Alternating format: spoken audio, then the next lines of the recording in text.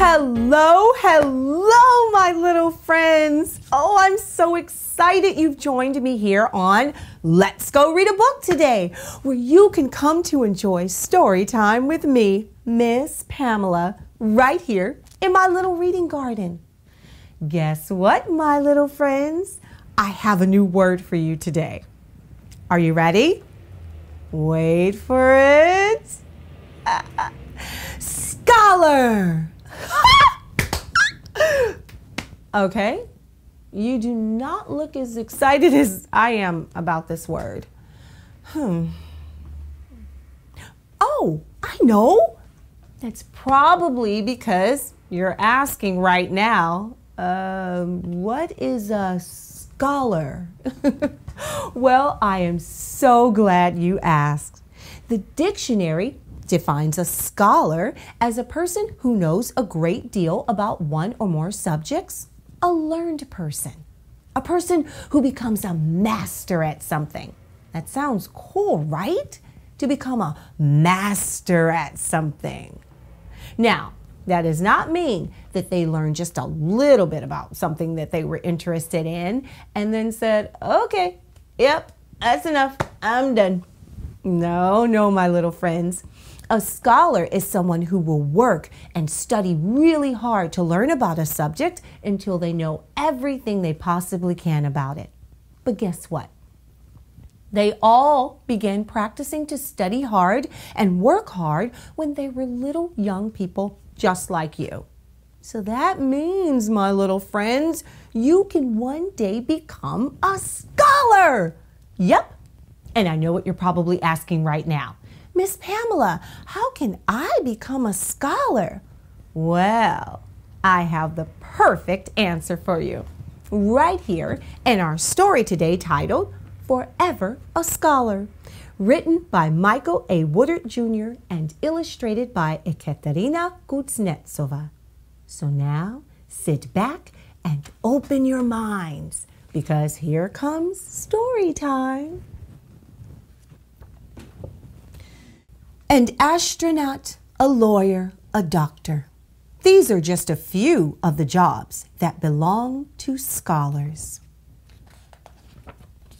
They started from the very beginning with a knack for books and a way with words, forever sharpening their skills while working towards the honor roll. Some loved to make numbers dance, while others gave their fingers to art some loved to study animals or take their toys apart. But the thing that made them scholars was their dedication to the game, a wild impulse to chase their dreams that never could be tamed. Dripping with sweat and tears and nothing being given, challenges are the things that kept scholars driven.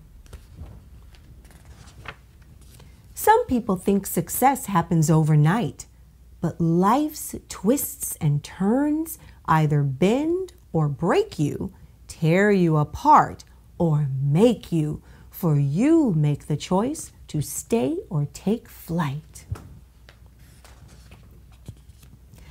There's a light at the end of the tunnel but know that each step will take time. Egypt wasn't built in a day. It takes patience to beat the odds and reach the finish line. Yet, true scholars have a quiet strength about them and never tell a single soul. With a cool chin up, they take a deep breath and let their courage show. For our ancestral scholars learned long ago a full mind is nothing with an empty heart, and knowledge tastes sweetest when it brings people together rather than setting them apart. So, scholars, lead with love and never be too proud to follow. When called to action, remember it's your pride you have to swallow.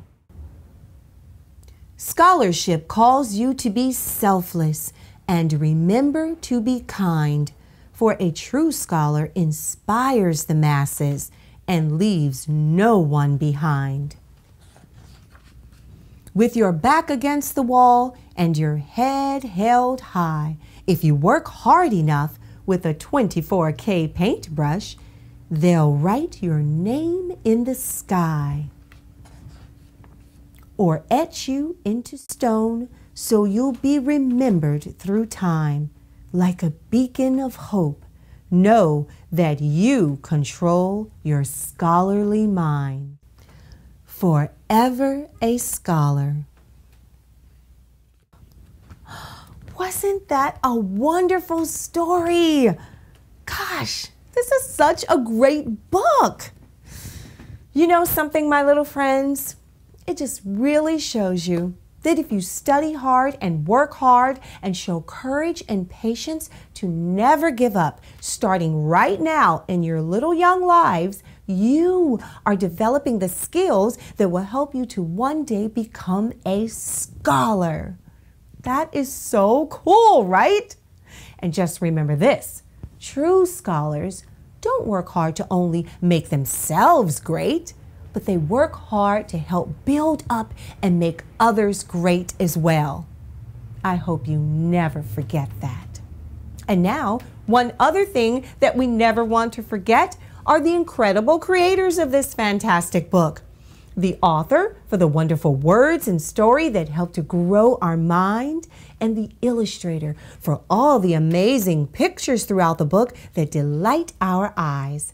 So, Michael A. Woodard Jr and Ekaterina Kuznetsova, we just have one thing to say to you.